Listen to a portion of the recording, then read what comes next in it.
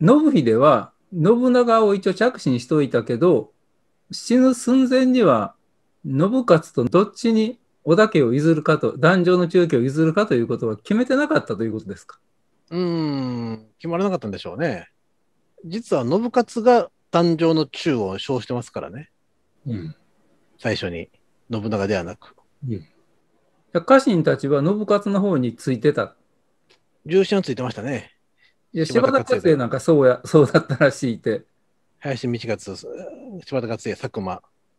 いや、だから、あれなんじゃないですか、これは前からずっと思ってたんだけど、投手と着手のツートップ体制取ったわけですね。うん。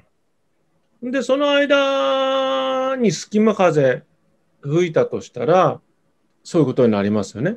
うん。なんかあったんでしょ？あ信秀と信長の間にというそうそうそう。うん。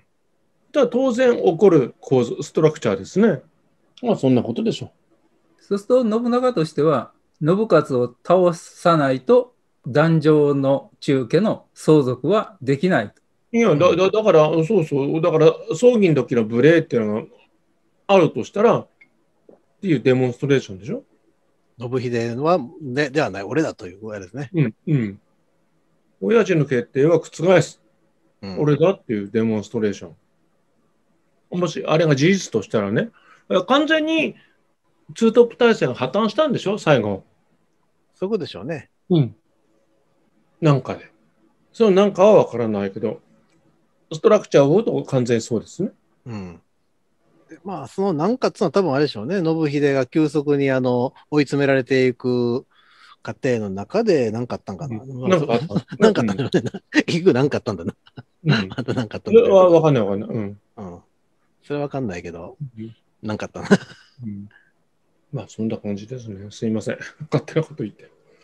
まあ、あと、あの、信勝を殺した後、ドタ御前がブチ切れるそうだから、まあ、ドタ御前の発言力ってやっぱり結構あったんでしょうね。ああ、苔の力は強いですね。うん。で、このドタ御前は、あの、信長より長生きしますからね、この人。ああ、そっか。信長の死んだ14年後だったかな？に死んでるんですよ。長生きするね、この人、ものすごく。うん。信長にとっては、めんどくさいお金と思いますよ、信 あの、ドタ御前は。多くの小説でそのドタ御前、はい。まあ、弟を溺愛してとかってことになってるけど、違うね。うん。信秀の後家として多分信勝を当然支持したわけであって。そうそう。だからツートップ体制破綻して、これ殺しときゃ早かったのにね、信長もね。うん。信長甘いよね。甘いです。うんとにかく甘いです。ここは甘ちゃんだよね。だから最近いい人信長説でしょ？うん。俺だって殺してんね、母親を。結構ね、織田織織田軍団のごたごた人の後ろにいたりしてね、五千がね、うん。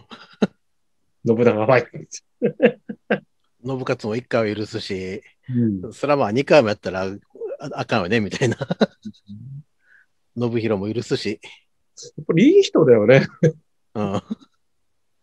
そう織田大和の神家とか、あの、結局み、あの、殺してませんもんね、基本的に。うんあの、大和の神家も、伊勢の神家も、追放されたけども殺してないし、伊勢の神家の信康に至っては、ちゃんと取り立ててやってるという。ねえ、だから、最後のぶち切れの佐久間佐久間一見でもさ、うん。殺してないもんね。やっうん。ぱり信長の評価変えないとね。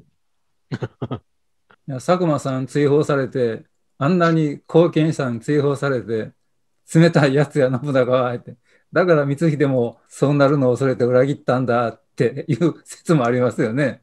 うん。本でも殺されてないだけまだマシそうですよ。まあ、万直政ちょっとかわいそうかなって気がする。うん。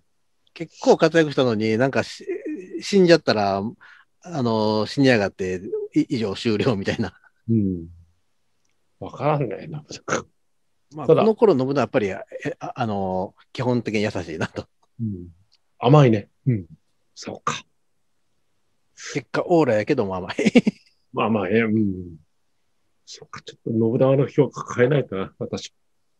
特にこの下吉金なんてほんまにひでえやつで、自分の親父を殺されて信長が頼って、親父の敵討ちしてたのに、信長を殺そうとするんだから、ひでえやつだ。